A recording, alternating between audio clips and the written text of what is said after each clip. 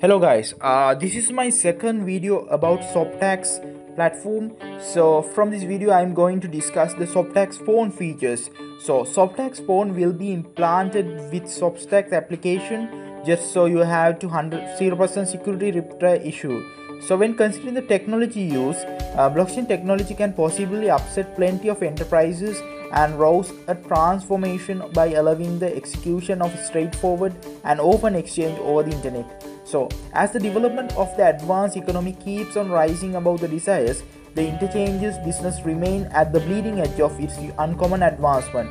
So while blockchain has efficiently infiltrated inside the monetary division, its entrance into the interchanges field is yet to have an effect and additional presentation among the majority.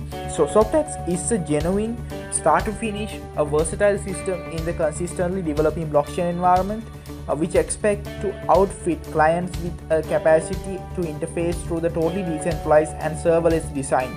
So Zoptax is structured with a dream to develop and venturing stone in advancing the reconciliation of blockchain inside telecom.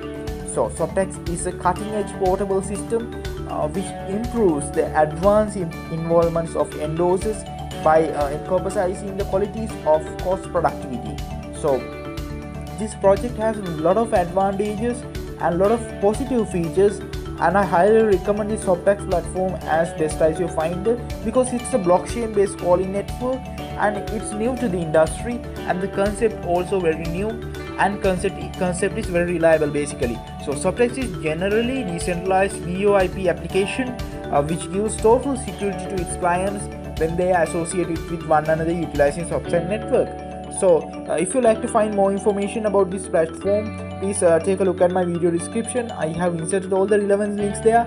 So go through them find more information read white paper and don't forget to follow their social media platforms to get the latest updates. So let's meet again with the third video about Zoptax very soon. Thank you very much. Have a nice day